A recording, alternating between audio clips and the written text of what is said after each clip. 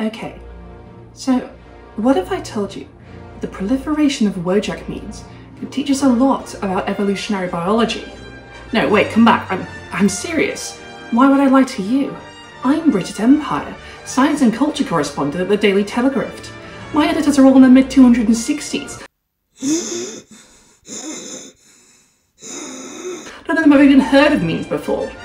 I'm an elder millennial. I remember the before time, the time when Wojak was but one of many reaction faces, when he was just the I know that feel guy. One you'd see from time to time in, say, Rage Comics or as a reaction to something, along with dozens of other faces. Faces that, somewhere along the way, like our friend here, went extinct. Rage Comics. That's a throwback. Rage Comics were a series of user-made 4-pal comics made using stock memes on stick figure bodies, usually using MS Paint, that popped up on 4chan around 2008. The format usually consisted of a low-stakes real-life scenario playing out over the first three panels, the fourth panel usually taken up with the rage face, a badly drawn angry face saying What? Over time, the different faces used in these comics expanded and took in other reaction images from other memes such as Troll Face, Forever Alone, Me Gusta, and of course, Wojak. The Feels Guy. Rage comics spread far and wide across the late 2000s to early 2010s internet, proliferating across sites like Reddit and Cheezburger, where people who didn't want to step into the cesspool that keeps delivering 4chan for their memes.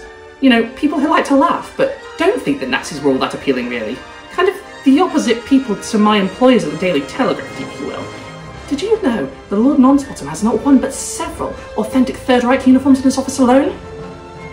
All I'm saying is, it's lucky people of his persuasion can barely find their spacebar, never mind find their way into 4chan. Imagine what his bedroom looks like. The faces and characters of Rage Comics had some back and forth usage, with advice animal style image macros, and through these, the characters proliferated throughout the internet. The point where my ex-girlfriend's mum once bought me a t-shirt with the Forever Alone guy on it, because she knew it was a meme. Wojak, however, was sort of a man out of time when he appeared in those memes.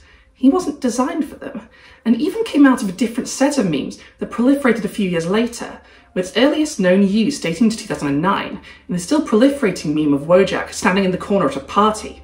This obviously had its own spread, but its use as a reaction image originated a year after that on Krautchan, which is what it sounds like, as a reaction image posted by a user apparently called Wojak. From there it proliferated through Reddit, Facebook and YouTube, where it became known as the Feels guy, or the That Feel guy, or or that or the That Feel When guy, or simply Wojak. And then the extinction happened. There have been several huge mass extinctions in the history of life on Earth, from the amazingly metal sounding The Great Dying, thought to be caused by a series of massive volcanic eruptions, to the most famous mass extinction in the popular imaginary, the KPG or Cretaceous Paleogene extinction event, caused by a literal rock from space crashing face first into Mexico, the effect of which was akin to a nuclear winter, blotting out the sun, which of course is a challenge to anything that relies on, well, the sun to live, namely basically all life on Earth that's larger than a single cell. When the extinction is over, however, many of the spaces in the ecosystem of the Earth that now lay empty as a, as a result of this overhaul can be filled with new life. And quite often, they get filled quite quickly, geologically speaking. An ecological niche, for those unfamiliar, is a term for the position of a species within an ecosystem, describing both the range of conditions necessary for the persistence of the species and its ecological role in the ecosystem, according to the Encyclopedia of Ecology. Think of this like a class in a role-playing game. A Tyrannosaurus and a lion play like similar classes, exclusively eating meats, probably from a mixture of active kills and scavenging, with no natural predators due to their size. They are at the top of the food chain, so to speak. When the T-Rex had died out at the end of the Cretaceous period, its ecological niche opened up and was fought over by new species of birds and mammals, eventually leading to where we are now, with the big cats, birds of prey, and wolves dominating the carnivore game. Like all good things, and all biological species, all memes eventually die. And Rage Comics, unlike the most famous of Earth's extinctions, but much more like the destruction of, say, the Western Roman Empire, ended not with a bang, but with a whimper. Slowly, people stopped using the memes. People stopped finding the comics people were making funny, and Rage Comics petered out into the archives. The dead meme, the worst kind of meme. A fossilized relic, if you will, of times gone by. But not every meme used in Rage Comics died. Some lived. Some survived, And when the smoke cleared, once all the old players were dead, when someone needed a new reaction image, they grabbed the closest thing they had to hand. Not a rage face, but a Wojak. Let's uh, go to Mexico. 66 million years ago. The Earth is a very different place. The continents were in a similar place to where we see them today, but North America as we know it hosts the shallow sea in its centre. In the most recent era, a ton of familiar life forms have evolved. The first flowering, the first flowering plants, the first grasses, the ancestors of today's bees, wasps and ants, and yet in the sky, large winged reptiles called pterosaurs still fly.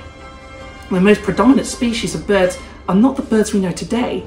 These ones are called enantiornithes, and they still have teeth. Non-avian dinosaurs are not only still around, they are thriving. Ceratopsians and ornithopods are everywhere, the groups that include Triceratops and Parasaurolophus. They've developed new and efficient ways of digesting plant matter, and they're around in massive numbers. No longer do we have stegosaurs competing with them. Even a lot of sauropod species, those long-necked giants we know well from our books and movies, have died out. The largest of them are still going strong. Don't worry, little one. Tyrannosaurus rex is alive and well, waving around its tiny, pathetic arms and munching down on the bones of its herbivorous cousins. The ecosystems of the Cretaceous are thriving, but all good things must come to an end. And high above the Mexican skies, a rock from space is on a collision course with Earth. When it hits, every animal I just described will die. And the animals that survive will largely do so on account of being small and having non-specialized diets. They don't need much food to survive, and they're not fussy about what that food is. Think of it as if the world ended tomorrow and all humans wiped out. Humans ourselves wiped out most of the large animals in the world during our plundering of the earth in the last million years, so our niche, and the niche of most megafauna we've been keeping down, will be open. People often talk about how cockroaches will survive to the end of the world, and this is largely just a myth about them being resistant to radiation, which they're absolutely not. But I do think they'll probably make it through this hypothetical disaster, as would I think rats, mice, crows, pigeons, small gulls, sparrows. The kind of animals that can thrive on our human ravaged cities and towns may well have a good chance of surviving. But that's just my opinion. Don't write that down as the opinion of the entire scientific community. I'm just one columnist for an incredibly dubious newspaper. That being said, I do have a PhD in paleontology, which is more than can be said for science reporters over at the Daily Mail and The Sun. Suck on that, Rupert Murdoch. Lick my ass, Lord Rothermere, or actually, don't. Stay away from my ass. Where was I again? Oh yes. The end of an era. The destruction of the old world. The welcoming in of the new. Several times in Earth's history, the ecosystems of the planet have been faced with a cataclysm. Many of those who had thrived in the previous conditions of the world died, and in their wake, the survivors, the stragglers, repopulated the Earth and filled the spaces of their ecosystem left by their forebearers. Each role in an ecosystem, what biologists call ecological niches, is not fixed in space and time for one species or another in specific.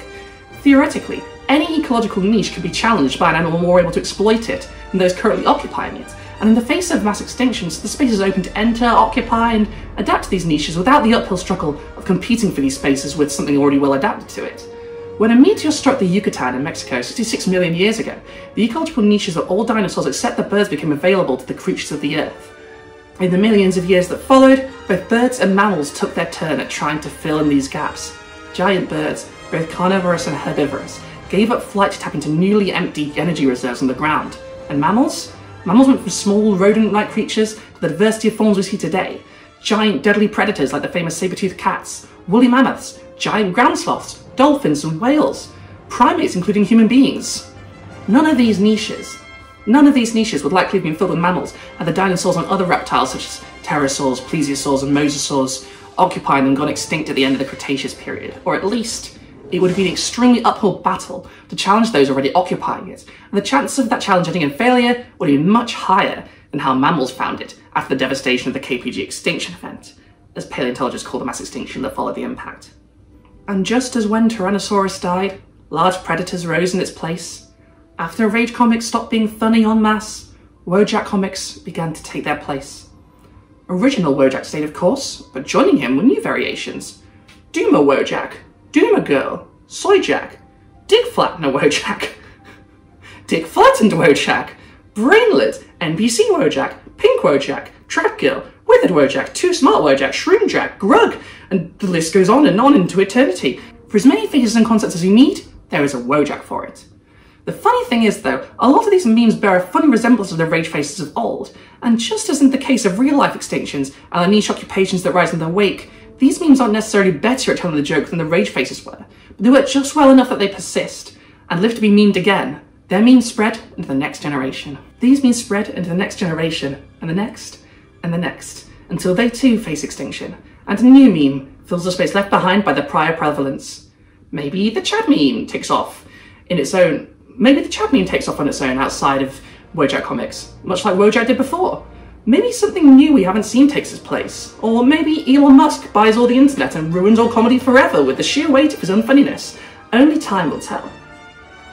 For now, in the same way memes spread like genes, persisting from one mind to the next if they are funny enough, Wojak is the current internet's version of Lystrosaurus, survivor of a mass extinction, creature out of time, stumbling across the boundary of a cataclysm to find itself the only familiar face. Time will only tell if Wojak, like the Lystrosaurus, will die out, or act like the mammals after sunset on the age of the dinosaurs and continue to adapt and evolve into as many niches as possible so that when the next extinction happens, some of them may survive to the next stage of the stupidest corners of the internet. Or perhaps, maybe we can learn a similar lesson here that we should be learning, should that is, because woo boy, there's a lot of shit need to be done about the environment. Instead of letting things die, or letting them pass by our memory, maybe we should be working harder to archive our knowledge, even knowledge of our stupidest and most unfunny memes, for future generations. Maybe we shouldn't be accepting extinction as inevitable. For ideas, or especially for living beings, when we have the self-awareness to know when it's happening, and the power to do something about it.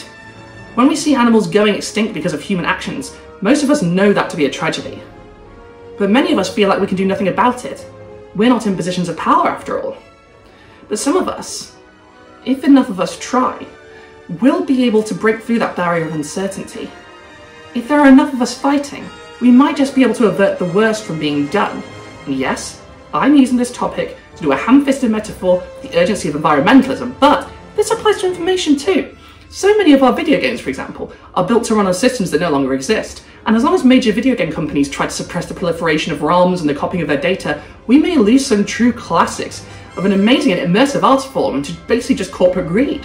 The desire to squeeze every last drop of money from a piece of media, rather than creating stable and accessible archives of this precious art, to be used and reused over future generations.